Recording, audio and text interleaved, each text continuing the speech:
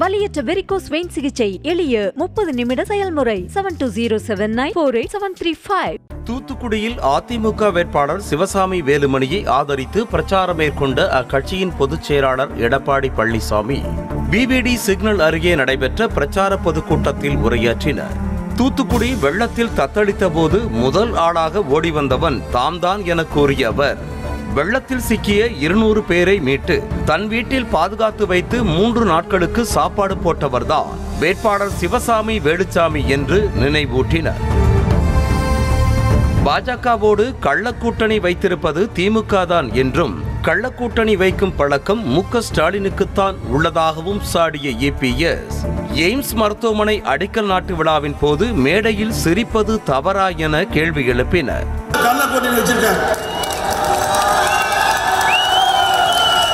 வச்சிருக்கார் இவர் வச்சிருக்கார். என்ன அற்புதமான படம்.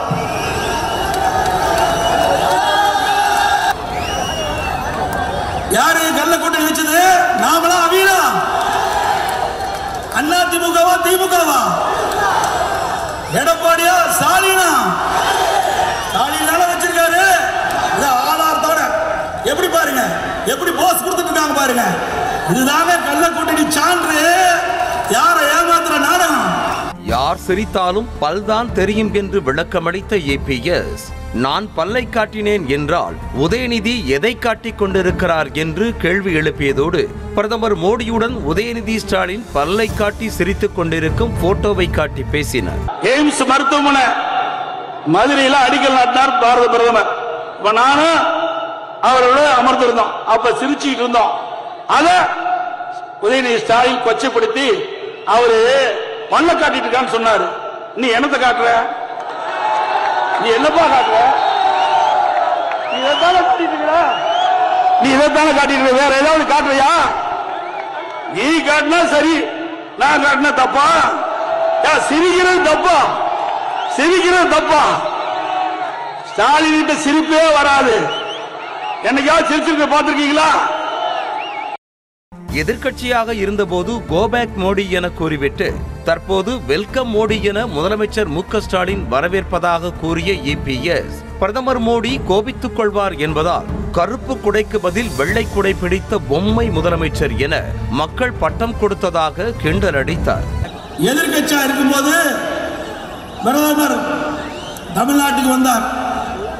அப்பா திரு ஸ்டாலின் கருப்பு பலூன் விட்டார் ஓ பேக் மோடினார் இப்ப ஆளுங்கட்சி ஆனோன்னு வெல்கம் மோடிங்கிறார் தமிழ்நாடு முதலமைச்சர் பிரதமர் சென்னை வந்தபோது கருப்பு குடை பிடிச்சா பிரதமர் கோவிச்சுக்காரு சொல்லு வெள்ளை குடை பிடிச்சார்.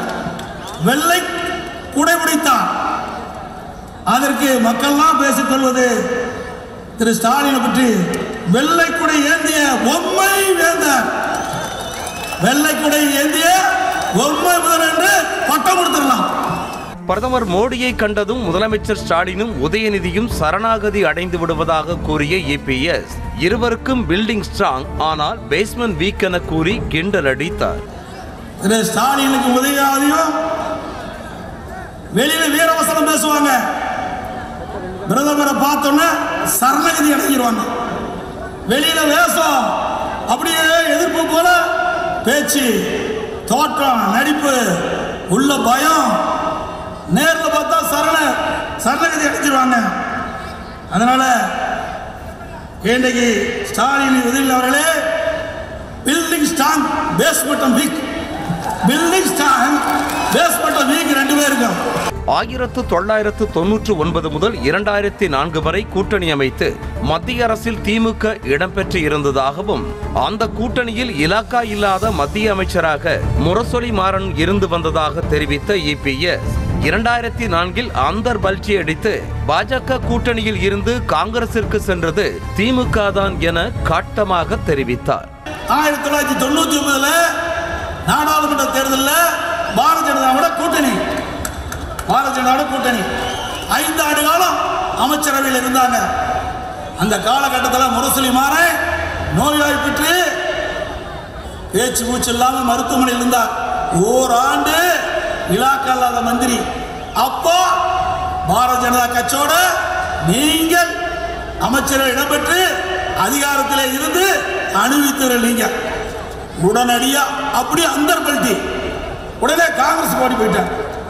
அந்த அஞ்சு வருஷம் ஆட்சியில் பங்கு பெற்றாங்க. கட்சியை சேர்ந்தவர்கள்லாம் அமைச்சரவையில் இடம்பெற்று அதிகாரத்தில் இருந்தாங்க.